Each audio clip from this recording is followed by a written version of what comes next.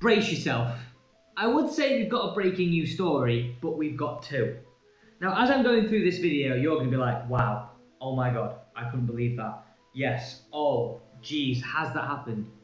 Like, honestly, seriously, the over thing I'm going to say right now is the DP world, this could be the start of the end. Now guys, with all these videos, I love your opinions. So as we go through each and every one of these stories, don't forget to get down in the comments, let me know what you think, and also subscribe, turn the bell so you never miss a breaking news story. So let's start with this one right here. By the way, the last one about losing a main sponsor, it'll all come together. Okay, let's start with this one here. So there are rumours, and we've seen this in the last few weeks, that LIV golfers have been fined for playing LIV events that were at the same time as a DP World Tour event. But let me say right now, one DP World Tour Pro has been fined a whopping 675,000 and handed an eight tournament suspension according to social media at Flushing It Golf. One player, 675,000. Now, the link to this is, and why I think this is absolutely astonishing, is simply this. Let me read you right now. This is astonishing. So this, this tweet from Flushing It Golf said this. I've just spoken to a LIV golf player who has played every single event. He was fined 675k plus for an 8 event suspension, with further penalties for, for any more breaches. Bearing in mind the first place money on the DP World Tour this week is around half that fine, I would expect all full-time LIV players to resign their membership. Just listen to what I just said. One pro is getting fined 675,000, but first place this week, first place this week is half of that. What is the incentive for these players to play? Okay, I hear you, you're going to say the prestige. Yes, 100%. For the tournaments that have been around a long time, there is a serious amount of prestige from playing on the DP World Tour. But right now, as a golfer, there's not an incentive in terms of money. They can go and play LIV, they can go and play Asian Tour, they can go and play a lot of other tours, or even go to the Korn Ferry Tour. There's a lot of other opportunities to find themselves earning a lot more money. I remember the days where first prize in 90% of DP World Tour events, formerly European Tour, were 480 plus, 500,000. Now, we're lucky if we get it over 400. I know we've got the Rolex Series events, but they're few and far between. They can't compete with the PGA Tour. They simply can't complete, compete with LIV Golf. So, the European Tour, as much as this chairman of the European Tour, as much as the CEO doesn't want to hear this, it's 100% come a feeder tour to every other tour in the world. They are threatened, and this for me could be the end. Right. Why I'm saying it's the end is simply this. Players right now, golfers, right, they're professionals, they play for money. They want to earn as much money as they can because they realise actually, yes, we say golf is a long career because you might not get injured, but actually it can be a very short career because of how competitive it is. So players want to earn as much money as they can in a very short space of time. Now let me go into this tweet a little bit further.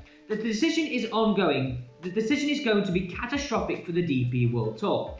The Asian Tour is already encroaching into European soil, and they will make take full advantage of this by showcasing the sanctioned European stars, with more events expected next season. As one player just said to me, the decision has just ended the DP World Tour. I tend to agree. It's a very sad situation for European golf. When I was caddying the European Tour, the European Tour was strong. It was thriving. We had Matt Fitzpatrick, we had Rory playing most events, we had Shane Lowry playing most events, we had Jon Rahm playing most events. We don't have that now. They are gone.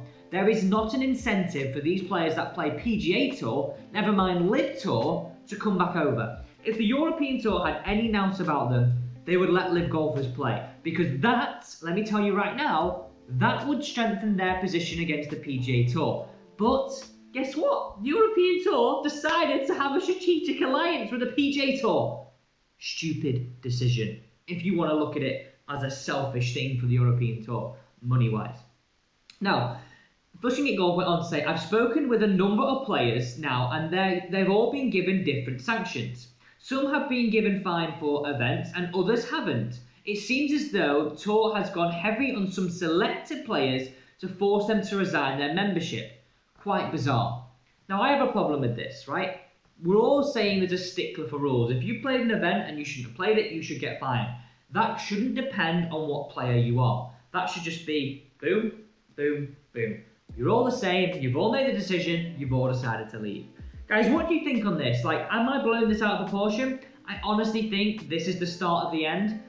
And let me tell you right now, this next story will confirm it if it hasn't already. But first off, you know what? Before we get into that next story, do get your opinion down below in the comments. I'd love to hear what you think on that. Okay, so now let's go a little bit further into this. For more on this, right, the DP World could lose a major sponsor. So we have coming up the Porsche European Open. So this is a heavily weighted event and a heavily supported event. We had the likes, when I was caddying this, we had Martin Kaymer come over.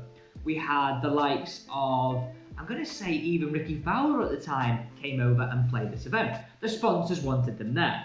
Now the DP World Tour could be impossible collision course here with one of the tournament sponsors after suspensions have been handed to LIV Rebels Paul Casey and Martin Kaymer for next month's European Open in Hamburg. Now, both players are Ryder Cup stars.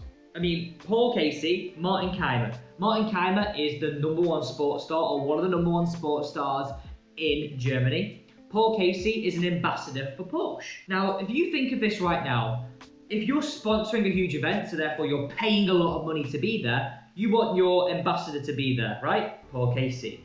You're a German car manufacturer, so you want a German sports star there. They're both not going to be there. I honestly could see them, in even in a short space of time, pulling out of this agreement. They want them there because simply golf fans are more likely to go if those two golfers are playing, whether they're LIV golfers or not, right? This is where I see issues coming. You're losing big stars. They've either gone to PGA Tour, so not playing a lot on European Tour, or they've been they've torn up their membership, or they've been banned, they've been sanctioned, they've been fined, so they're like, yeah, you know what, I ain't gonna play on this tour anymore. But as a sponsor, think about it this way: you want them to play, Bigger players bring, bring in more crowds, more exposure. This is exactly why we have the elevated events on the PGA Tour, which potentially might not have any cuts, because they can charge more for sponsors, bigger players play more often and guaranteed for the four days. Now, European Tour doesn't have this. European Tour is sanctioning all their big players. European Tour is getting rid of all their big players. So if you look at this from a complete European Tour, DP World Tour perspective, European golf could be dead.